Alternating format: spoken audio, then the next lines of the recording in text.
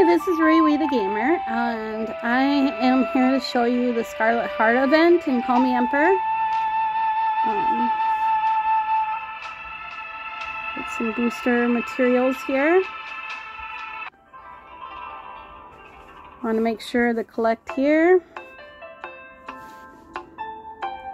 Royan Ruhi's routine. I'm not sure how to pronounce that. Um, when you first start, you're going to have that cell phone looking thing, and that's going to help you um, do your orders and also merge stuff to create the other boxes and bags. Then later, some of the other boxes and bags will help you create more boxes and bags for different material. You can look at order. You can see here what box you need to click on to make that. Looks like we need stuff in the green box.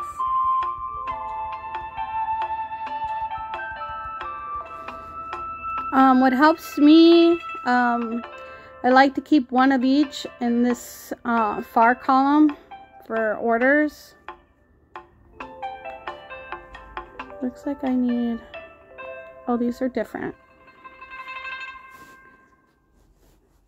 These um, are used for orders, but also to merge to make keys.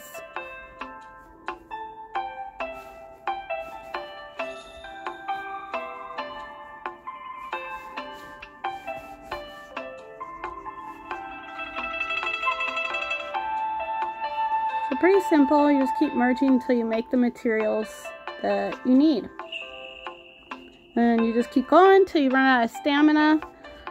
Um, I don't know, I seem to have like once a day it'll pop up and give me a chance to buy a, quite a bit more stamina for 99 cents.